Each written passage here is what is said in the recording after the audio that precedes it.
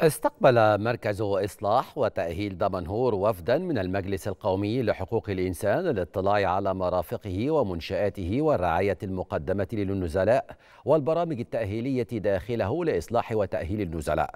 ويهدف ذلك لدمج النزلاء في المجتمع وفقا لمعايير حقوق الإنسان التي تم مراعاتها عند إنشاء مراكز الإصلاح والتأهيل الجديدة.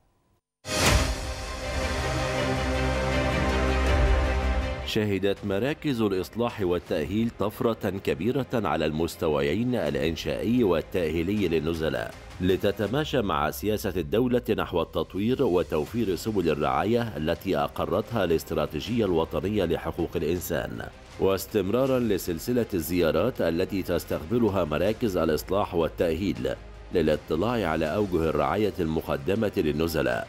فقد قام وفد من أعضاء المجلس القومي لحقوق الإنسان بزيارة مركز إصلاح وتأهيل دمنهور الجديد الذي تم إنشاؤه وفقا للمعايير الدولية في مجال السياسة العقابية. بدأت الجولة بتفقد الوفد لأماكن زيارة النزلاء وحرص على الحديث مع النزلاء وزويهم للتعرف على أحوالهم المعيشية وأوجه الرعاية المقدمة لهم داخل المركز.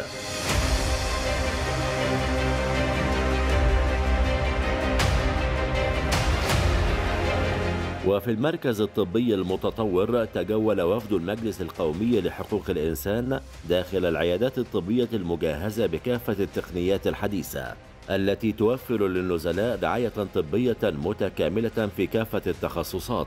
فلسفة الإصلاح والتأهيل الجديدة اللي بتتبعها وزارة الداخلية فيها طفرة نوعية من حيث الإمكانيات اللي موجودة في مراكز الإصلاح والتأهيل الجديدة. زائد السياسة نفسها من حيث تدريب العنصر البشري والاهتمام بالنزلاء في إنه يتم تأهيلهم وتدريبهم وتقديم الخدمات الرعاية الصحية.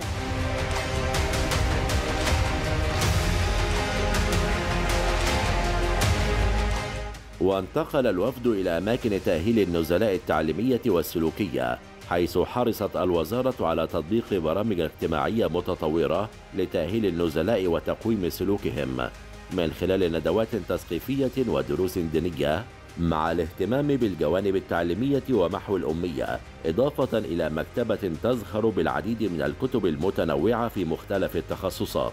عمليات التأهيل وعمليات التعليم المستمرة خاصة في في الورش أو محو الأمية ده أصبح إطار من الإطارات الرئيسية اللي بتسعى إليها وزارة الداخلية في الوقت الراهن ودي عمليه تأهيل مستمرة بحيث إن إحنا نضمن أن هؤلاء النزلاء بعد خروجهم من تقضية فترة فترة العقوبة إنهم يكونوا صالحين للاندماج في في المجتمع. استحداث دور العبادة الدينية للمسيحيين يبقى في كنيسة داخل المؤسسة العقابية أو مركز الإصلاح فده شيء متطور. وكذلك الأمر فيما يتعلق بتعليم القرناء وإن فكرة إن الشخص اللي هو حاصل على مؤهل في هو بيعلم بقية زمايله. كما تابع الوفد أساليب تأهيل النزلاء مهنيا من خلال فصول تعليم الحرف اليدوية وأماكن ممارسة الهوايات كالرسم والموسيقى.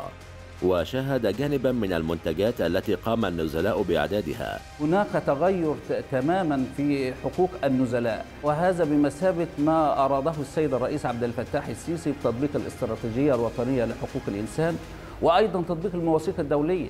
من أراد أن يرى بفم العين فليأتي إلى مراكز التأهيل. زيارة اليوم بتؤكد على أن هناك تطور كبير في قطاع الحماية المجتمعية هذا القطاع الذي يدشن كل فترة مركز إصلاح وتأهيل جديد.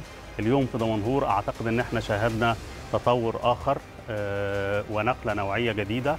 الزيارة المتعددة التي تستقبلها مراكز الإصلاح والتأهيل تثبت مدى ما تتمتع به من إمكانيات وقدرات لوجستية وبرامج اجتماعية وتأهيلية لتأهيل النزلاء وفقا للمعايير الدولية في مجال حقوق الإنسان. بما يمكنهم من إعادة الاندماج في المجتمع.